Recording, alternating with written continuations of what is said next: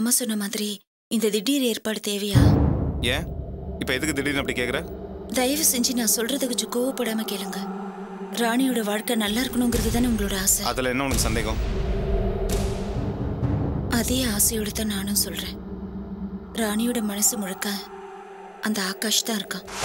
மறுபடியும் அவனை பற்றி என்கிட்ட பேசாதுன்னு உங்ககிட்ட ஆயிரம் தடவை சொல்லியிருக்கேன்ல. கோவப்படாம தயவு செஞ்சு நான் சொல்றது கொஞ்சம் பொறுமையா கேளுங்க. ஆகாஷ பத்தி நீங்க தப்பா நினைச்சிட்டு இருந்தாலும் ராணியோட மனசுல அவன் நல்லவனா தான் இருக்கான்.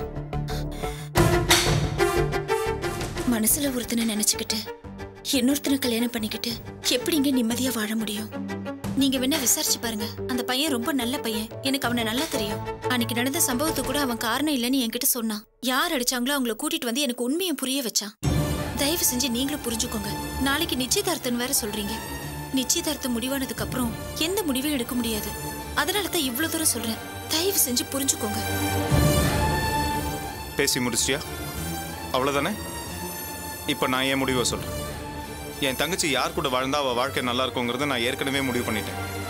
இது நீ இல்லை. வேற யார் வந்து சொன்னாலும் என் முடிவை நான் மாற்றிக்க தயாரா இல்லை. என் பார்வைக்கு அவன் கெட்டவன் தான். மூணு தடவை நானே நேரில் பார்த்துருக்கேன். அப்படி இருக்கும்போது நீ சொல்றதை நான் எப்படி நம்ப முடியும்? ராணிக்கு பிடிக்காத காரியத்தை நான் இன்னைக்கு பண்றதா அவன் நினைச்சாலும் நாளைக்கு அவன் வாழ்க்கையில சந்தோஷமா இருக்கும்போது அண்ணா அன்னைக்கு செஞ்சது சரிதாங்கிறது அப்ப புரிஞ்சுப்பா. அது எனக்கு போதும். என்னை பொறுத்த வரைக்கும் என் தங்கச்சியோட எதிர்காலம் தான் எனக்கு முக்கியம். தயவு செய்து இதுக்கு மேல இந்த விஷயத்துல நீ தலையிடாத.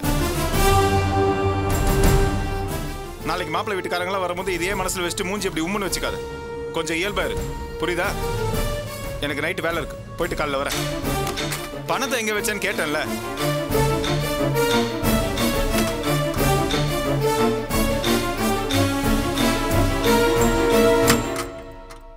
அம்மா? அம்மா? ஆ என்னப்பா? ம். நைட்டு வேலை இருக்கு நான் ஷெட்டு கிளம்புறேன். ஆனா காலையில நேரத்தோட வந்துருவேன். நான் வரத்துக்குள்ள எல்லா ஏற்பாடும் பண்ணி வைங்க சரி. அப்பா நான் வரத்துக்குள்ள எல்லா வேலையும் முடிச்சிருங்க. சரி. வரேம்மா. சரிண்ணா. ராணி உனக்கு நல்ல நேரம் ஆரம்பிச்சிடுச்சுடி உன் ஜாதகத்துல ராஜயோகம் இருக்குன்னு ஜோசிய சொன்னது சரியா தாண்டி போச்சு.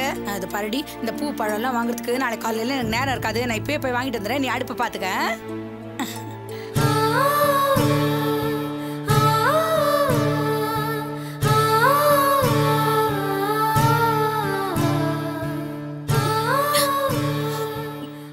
என்ன ராணி பண்ண போற? என்ன நீ சொல்றீங்க?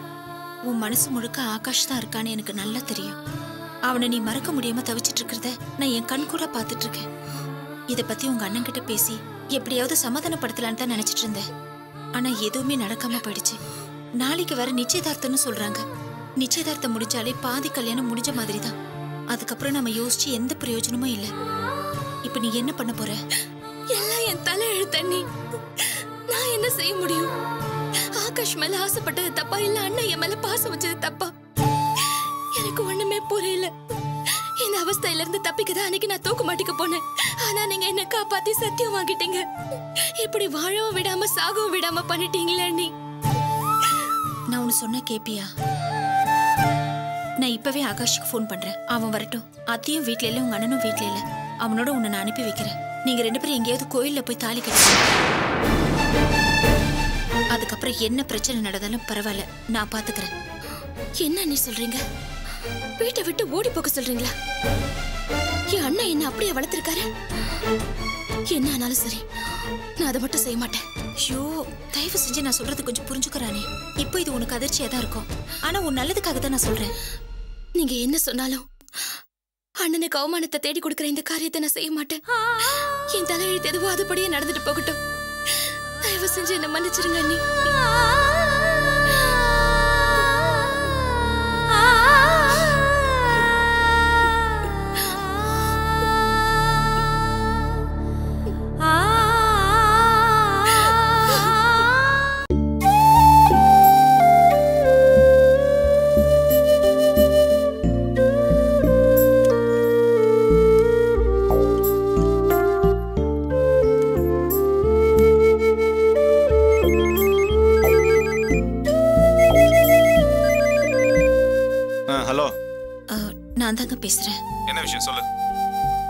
சாப்பிட்டீங்களா?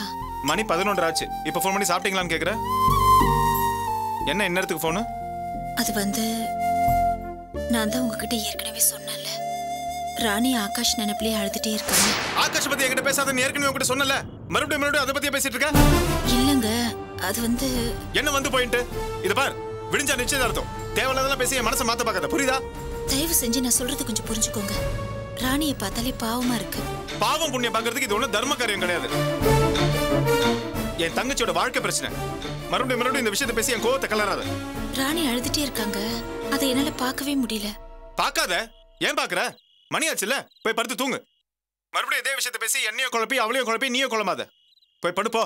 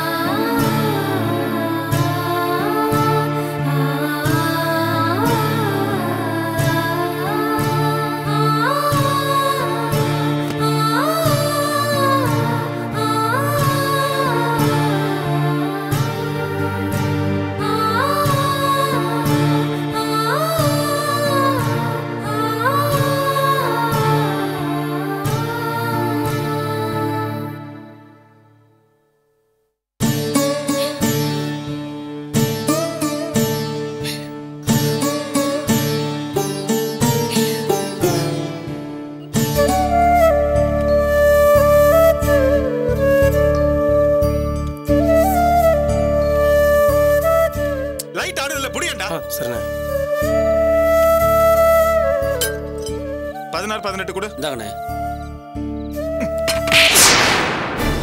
கவனத்தை எங்க வச்சுட்டு வேலை பாக்குற சாரிண்ணே தெரியாம. என்ன தெரியாம? என்னைக்காச்சும் ஒரு நாள் நைட் வேலை வச்சா அதுக்குள்ள சமாளிக்க முடியாதா? இத பார் மெக்கானிக் வேலைங்கிறது மிலிட்டரி சர்வீஸ் மாதிரி. இங்க ரா பகல் பசி தூக்கம் கஷ்டம் நஷ்டம் இதெல்லாம் எதுவுமே பார்க்க கூடாது என்ன வேலை செய்ய தயாரா இருக்கணும். வேலைக்கு சேர்ந்து எத்தனை நாள் ஆச்சு? ஒரு ஸ்பேனர் கூட எடுத்து கொடுக்க முடியாது? இங்க பார் உனக்கு இங்க வேலை செய்ய இஷ்டம் இருந்தா இங்க இருந்து வேலை செய். இல்லாட்டி பிடிக்கலன்னா கிளம்பி போயிட்டாரு சும்மா எரிச்சல் கிளப்பாத போ.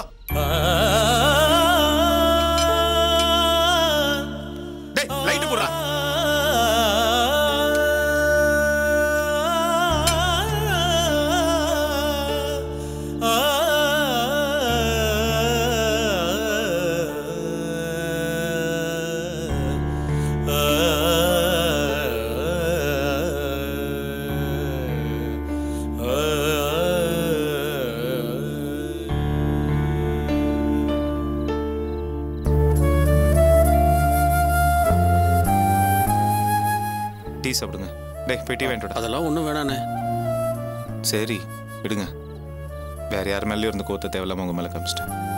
மரியாதை இல்லாமல் வேற பேசிட்டேன். அண்ணே குப்பன் இதுக்கு முன்னாடி இதை விட பெரிய தப்புலாம் பண்ணியிருக்காரு. அன்னை கூட தவறி இன்ஜினை காலில் போட்டு காயமாயிடுச்சு. ஆனால் அப்போ கூட நீங்கள் கோவப்படாமல் அண்ணியோட தங்கச்சி கல்யாணத்துக்கு வச்சிருந்த பணத்தை எடுத்து செலவு பண்ணீங்க. ஆனால் இப்போ ஒரு சின்ன ஸ்பேனர் மாற்றி கொடுத்துட்டாருன்னு இப்படி அடிச்சிட்டிங்களே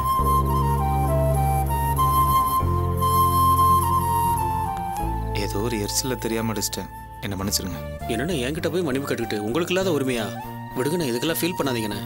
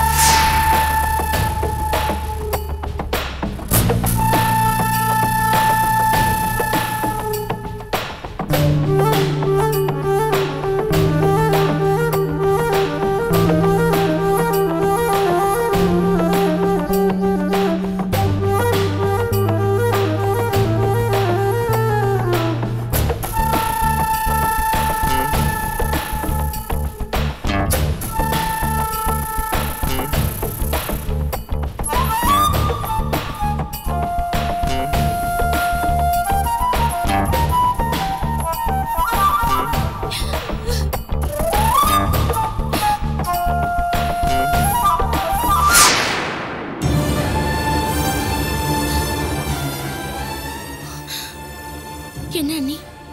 என்ன ராணி நீ இன்னும் தூங்கவே இல்லையா? இன்னுமா அழுதுட்டு இருக்க அப்படிலாம் எதுவும் இல்லையே. சும்மா மறைக்காத.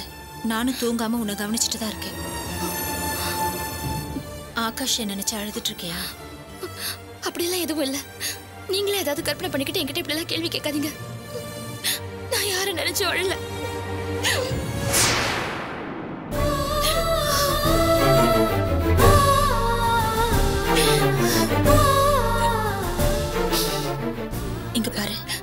முகத்துக்கு திரை போட்டு மறைக்கலாம்.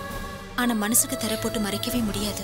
அதுவும் பொண்ணுங்க மனசு இருக்கே அதை மறைக்கவே முடியாது. மனசுல ஒருத்தனை நினைச்சுக்கிட்டு இன்னொருத்தனுக்கு வாழ்க்கப்பட போறோமேங்கிற வேதனை இருக்கே அதை மறைக்கவே முடியாது. நானும் ஒரு பொண்ணு தானே. உன் மனசு என்னன்னு எனக்கு புரியாதா? நான் என்ன செய்யறது அண்ணி? இந்த நிலைமை எந்த பொண்ணுக்குமே வரக்கூடாது. சரி அழாத. கண்ணை தொடச்சுக்கோ. இதுக்கு தான் நான் ராத்திரியே உங்ககிட்ட சொன்னேன். இது நாள் வரைக்கும் அண்ணா அண்ணன்னு பாசத்தை வச்சுட்டு உன் காதல மறைச்சதெல்லாம் போதும். இதுக்கெல்லாம் ஒரு முடிவெடுன்னு சொன்னேன். நீ தான் முடியாதுன்னு சொல்லிட்ட. இப்ப பாத்தியா ஒரு நிமிஷம் கூட தூங்காம அழுதுகிட்டே இருக்க. இதுல இருந்தே உனக்கு உண்மை என்னன்னு புரியல?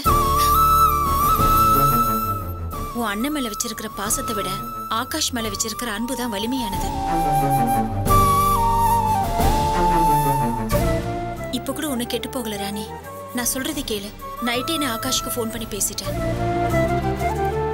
ராணிக்கு விருப்பம் இல்லாத எதுலையும் வற்புறுத்தாதீங்கன்னு சொல்லிட்டான். இப்போ உனக்கு சம்மதம் நான் உனக்கு ஒரு ஃபோன் பண்ண போதும். வந்துருவான். ஏதாவது ஒரு கோயிலுக்கு போவோம். சின்னதா ஒரு மஞ்சக்கயிறு எடுத்து அவன் உன் கழுத்துல கட்டினாலே போதும்.